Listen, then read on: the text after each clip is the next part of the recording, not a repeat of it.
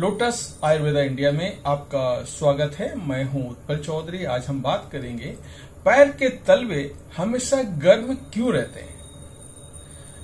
कुछ इसके कारण है, मैं आपको बता रहा हूँ। तो आइए शुरू करते हैं आज का वीडियो।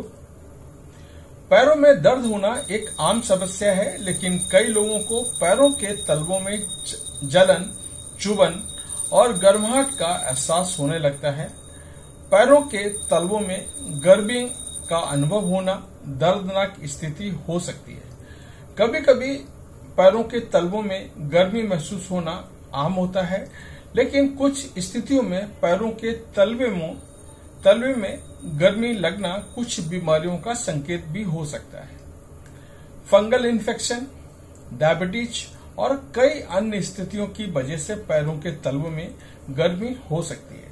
तो आइए जानते हैं पैरों के तलवों में गर्म होने के कारण। पहला है शरीर में पोषक तत्वों की कमी। शरीर में पोषक तत्वों की कमी होने पर आपको पैरों के तलवों में गर्माहट महसूस हो सकती है।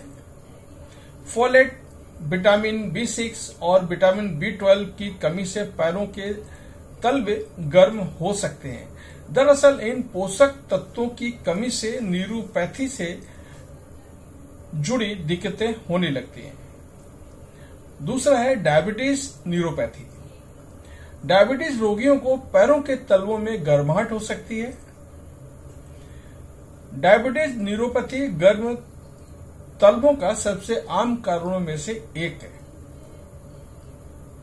डायबिटीज़ रोगियों को झुंझुनी हाथ पैरों में शून्यता जैसे लक्षण भी नज़र आते हैं।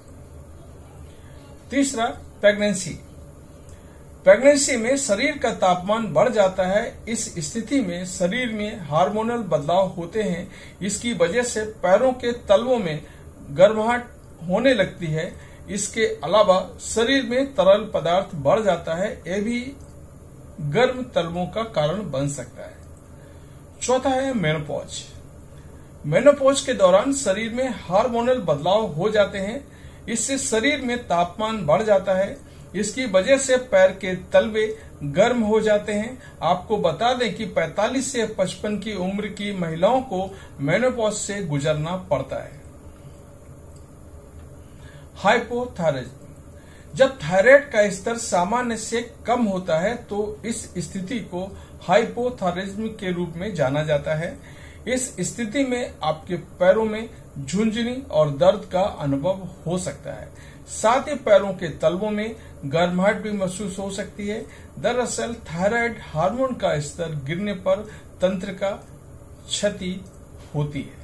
तो ये था हमारा आज का वीडियो। आपको कैसा लगा, कमेंट करके ज़रूर बताएँ। धन्यवाद।